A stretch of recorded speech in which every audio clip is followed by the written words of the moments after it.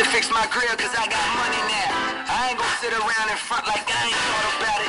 A perfect smile is more appealing, but it's funny how my shit is crooked. Look at how far I done got without.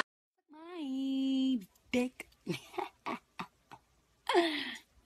I keep my twisted grill just to show the kids it's real. We ain't picture perfect, but we worth the picture still.